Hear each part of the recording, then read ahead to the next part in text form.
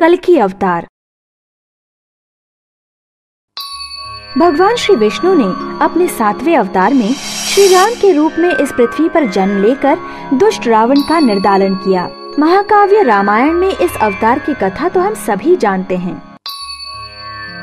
कलयुग की शुरुआत में भगवान श्री विष्णु ने इस पृथ्वी पर अपने सबसे मोहमयी और पूर्ण अवतार श्री कृष्ण के रूप में जन्म लिया।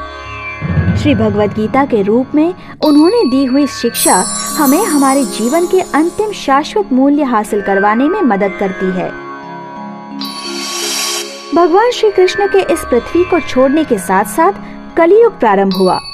हिंदू धर्म अपना सत्व खो बैठा। वेदों की सत्यता पर प्रश्न पूछे जाने लगे। शून्य कर्म कांडों ने भक्ति की जगह ले ली। भगवान श्री विष्णु ने इस पृथ्वी पर सिद्धार्थ नाम से जन्म लिया। उसे हम गौतम बुद्ध के नाम से जानते हैं। कई सालों तक भगवान बुद्ध ने हमें शांति और सद्भावना की शिक्षा दी। कई लोग उनके शरण में गए और उनकी शिक्षा अंगीकृत की। लेकिन कलयुग का प्रभाव बढ़ता जा रहा था। लेकिन अभी सभी आशाएँ खत्म नहीं हुई हैं। असत्य और हिंसा का प्रभाव जब अपनी चरण सीमा पर पहुँच जाएगा, तब भगवान विष्णु अपने कल की अवतार में इस पृथ्वी पर फिर से जन्म लेंगे।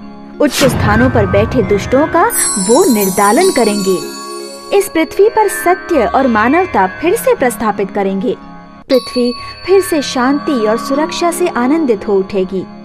और तब शुरू होगा नया युग, जिसे कहा जाएगा सत्य युग।